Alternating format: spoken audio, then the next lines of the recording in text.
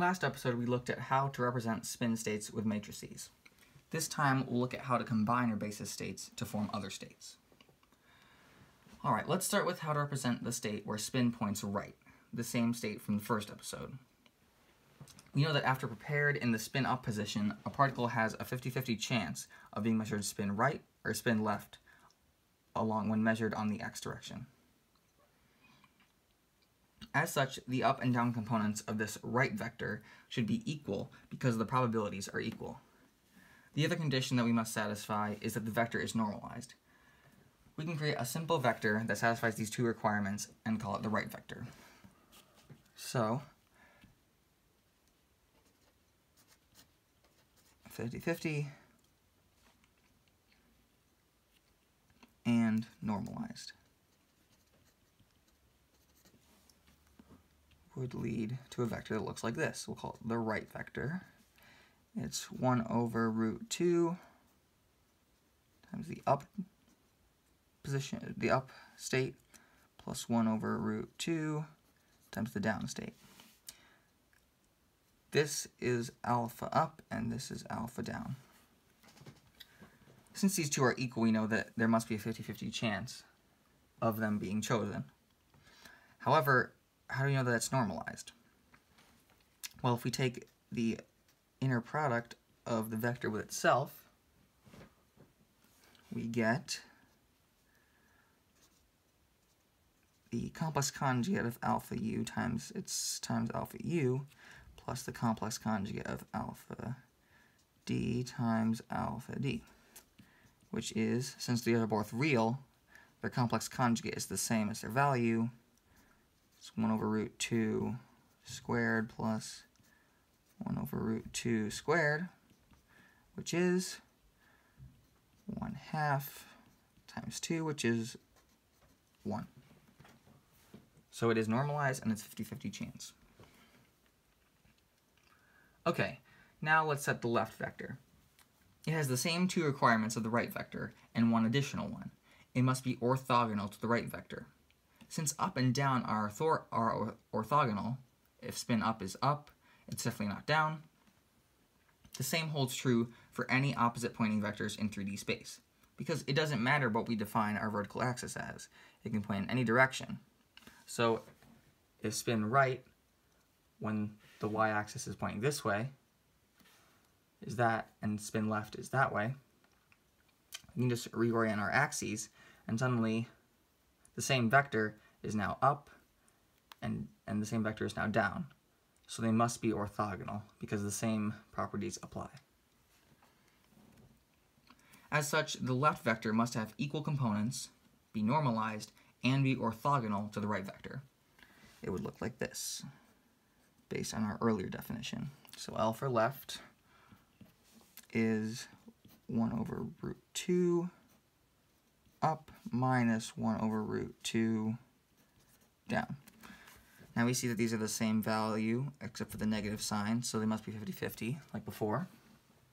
And we already proved that when you take the dot product of this with itself, it'll come out to 1. But now to show that these two are orthogonal, we'll take the dot product of both of them with each other, which would be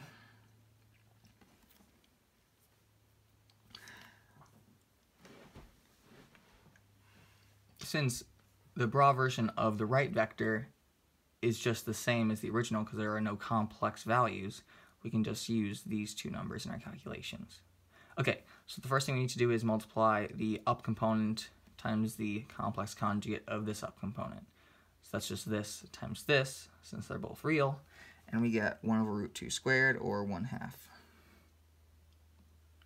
Now we need to multiply these two values for the same reason. Negative 1 over root 2 and positive 1 over root 2 gives us negative 1 half. And so the dot product, or the inner product is 0. So they are orthogonal.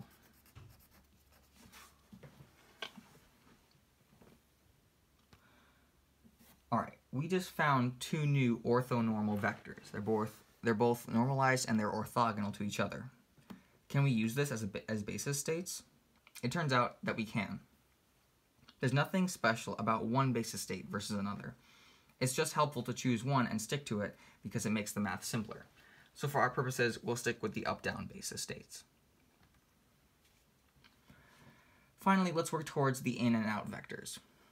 These are the last two spin states in free space that we need for all three dimensions. Okay, what do we know? In and out have to be orthogonal to each other, just like left and right and up and down. They need, both need to be normalized, and they both need to have the equal components because of the 50-50 chance. This 50-50 chance is now a property if you measure against up, down, right, or left. That is, in the first episode we said if you set a particle and spin up, it'll have a 50-50 chance of being spin right or spin left. Now, it doesn't matter which, uh, which state you set it in before, it'll have a 50-50 chance of being in or out from any of these three. Another way of saying this is that the inner product of in or out with any of these four other basis vectors has to be 1 half. When we follow this logic, we come to these vectors right here.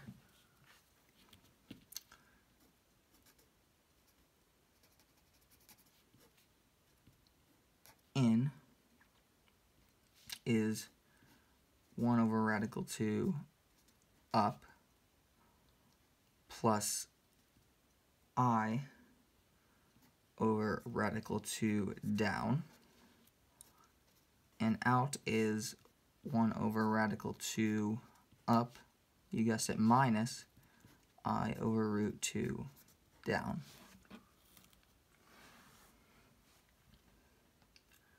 And you can prove pretty easily that these are indeed orthogonal to each other, normalized, and 50-50 chance based on the other four vectors.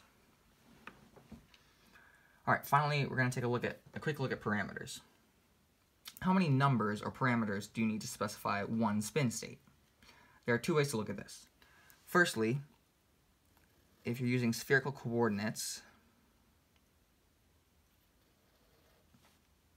It takes two angles to specify any direction in space.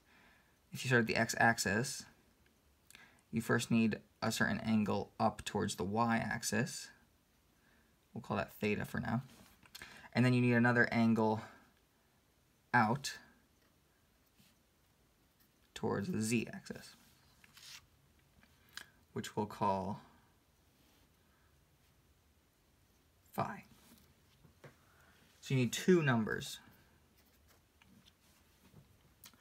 But there's another way we can look at it through ket vectors. Any ket requires two complex components, alpha up and alpha down, which both have their real and imaginary parts. So it looks like you need four. So why are there only two here? One of these, firstly, isn't necessary because we know the vector must be normalized. So we would create some sort of equation where the inner product of this vector has to be 1 and solve it, and we could eliminate one variable. But there's one still left. Where's it go? This is where phase comes in. If you multiply any ket vector, A, let's say, by something called a phase factor, which is just a complex number in polar form, which looks like this, e to the i theta. You don't need to worry about this theta. These two are not the same. Some number. e to the i alpha it could be. This is a complex number shown in polar form. If you multiply any ket vector by something like this, it has no effect on measurements. Whenever you make an inner product or, an, or something like that using one of these phase factors, it just gets canceled out and you're left with the same probabilities. As such, all observable or, or measurable quantities remain the same. So we can multiply any ket vector by any phase factor and keep the same values. This is where the last parameter comes in. Since ket vectors are phase invariant, one of the parameters from before is just a restatement of the phase, which we don't need. It's not necessary. So we're down to 2.